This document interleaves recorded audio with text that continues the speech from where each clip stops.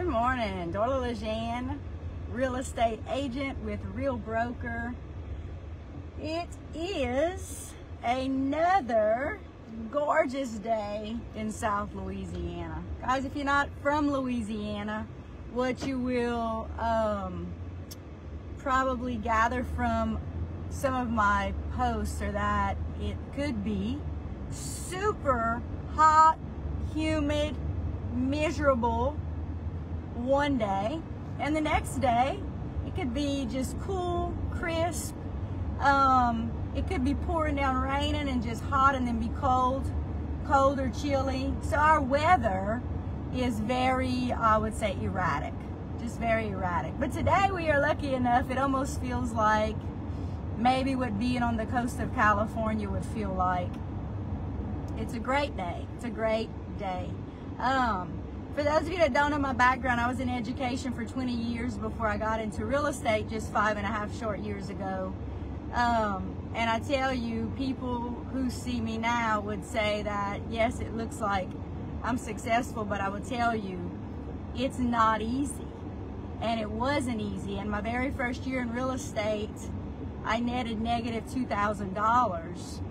Um, but I never would have thought in a million years about quitting. Because this is what I knew for sure.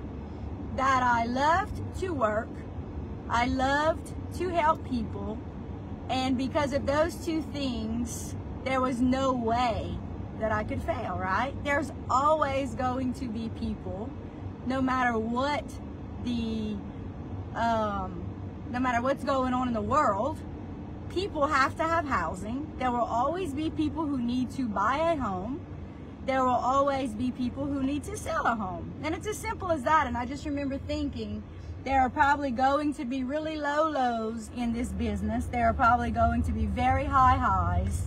And everything in between is just going to be what it will be. So, um, couple of defining moments for me was back when I was 19 and I was in college full time and I was living with my dad and he dropped dead of a massive heart attack when I was 19 years old.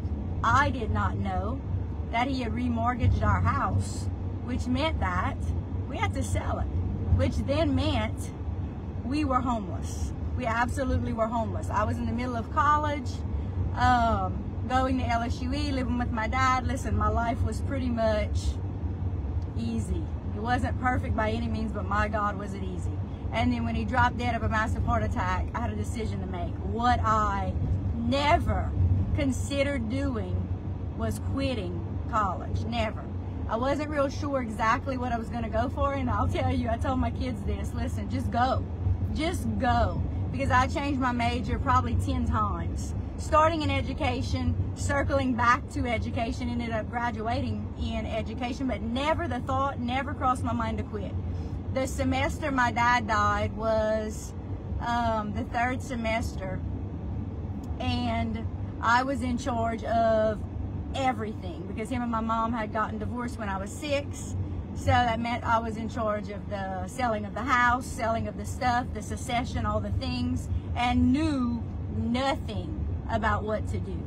Um, and so that semester, even though I knew I was never going to quit college, I flunked out. And they put, the college put me on, um, I forget what you call it, I guess probation, where you have to sit out a semester and you can't go back. You have to just take a break. And so I sat out, I took a break, and I actually went to work at Winn-Dixie. And I remember thinking, one day, there were a couple of older ladies there that were cashiers that were probably in their 60s or 70s. And I just remember one day looking at those older ladies and thinking, no matter what I do, I'm going to go back to college and I'm going to finish and I'm going to get a degree because I do not want to ever have to, number one, be dependent on someone else. And those older ladies um, had gone through different things. Some were divorced, some their husbands had passed away. Some of them had never worked before in their lives and had to go back and work at Winn-Dixie as cashiers. And I remember thinking, I'm going to do what I need to do to be independent, to be able to support myself. And if and when I do decide to get married, I will be able to support myself and no matter what. So I got into education, of course. Um, loved being a teacher, loved being in the schools. And then at 15 years, I applied for a job as technology supervisor at the school board office and moved to the school board office when, when listen, when I applied for that job, never thinking in a million years I'd get the job at all. I really didn't feel ready, but I applied for the position basically um, for the practice and ended up getting it and knowing that um, pretty much probably the first or second, third day on the job, I realized I was not an office person. I didn't like being in an office. My office didn't have a window. It was like being in a dungeon. And many days it actually felt like just being in hell because I didn't like being in the office. I missed being in the schools. I missed the teachers. And um, so a couple of epiphanies throughout that five year career because I knew I had to make it to 20 were just, I kind of got the impression that most people that were there didn't particularly love being there. Um, and it was kind of just disheartening. And so I remember thinking, I'm going to do it. I'm going to get to 20 and I'm going to do something else. And listen, when I got into real estate, I didn't know if I was going to enjoy it. But thankfully, I fell in love with it. I remember the first day of class, all of the, just everything going on, talking about real estate, the real estate world, something about it just fascinated me. And I just fell in love with it, thank God. And so defining moments for me were all of the things that I went to get to this point. It was not easy and it's still not easy. Every day is a new challenge. Absolutely every day is a new challenge. But I always think to myself, even on the worst days when things aren't going right, I could be sitting in that office at that school board office with no window in what I called my dungeon. That's where I could be. So I'm thankful every freaking day to be able to be out and about meeting with buyers, meeting with sellers, where the office, my office, is wherever I have my iPad. That's my office. It's at people's houses. Uh, it's in coffee shops.